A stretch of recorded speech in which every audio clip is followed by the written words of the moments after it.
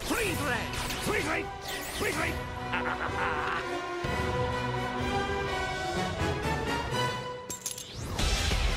For Gru, being a supervillain isn't easy.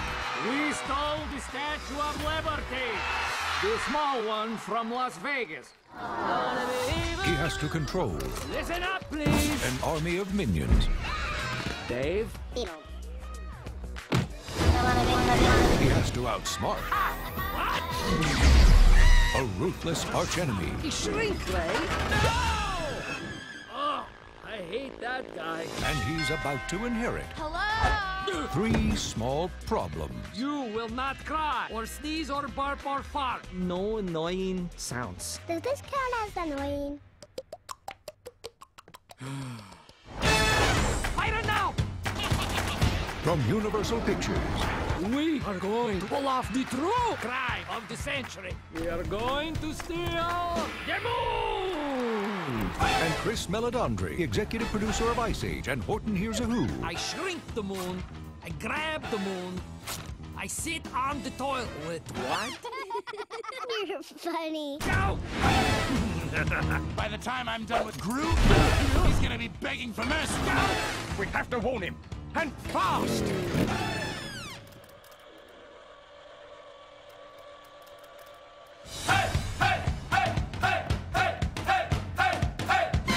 This summer,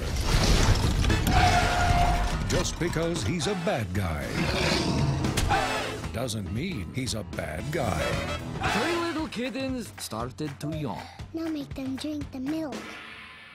Wow, this is garbage. You actually like this? Despicable Me in eye-popping 3D.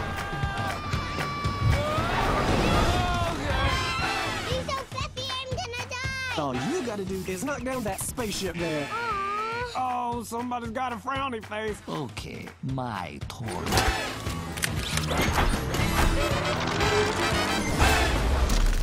Knocked over! It's so fluffy. Despicable. Despic. De, despi, ah, this. This. Despicable me.